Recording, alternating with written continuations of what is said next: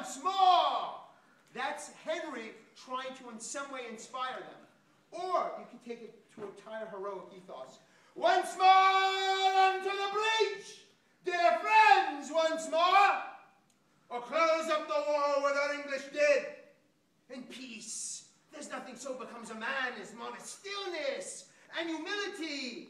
But when the blast of war blows in our ears, then imitate the action of the tiger. Stiffen the sinews, conjure up the blood, disguise fair nature with hard-favored rage, then lend the eye a terrible aspect. Let it pry through the portage of the head like the brass cannon. Let the brow overwhelm it as fearfully as doth a golden rock overhang and jutty his confounded base, swilled with the wild and wasteful ocean. Now set the teeth and stretch the nostril wide, hold hard and bend up every spirit to his full height. On, on, you noblest English, whose blood is spread from fathers of war proof, fathers that, like so many Alexanders, have in these parts from morn till evening fought, and sheathed their swords for lack of argument, dishonor not your mothers. Now attest that those whom you called fathers did beget you.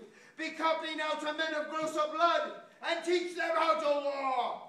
Good yeomen, whose limbs were made in England, show us here the middle of your posture.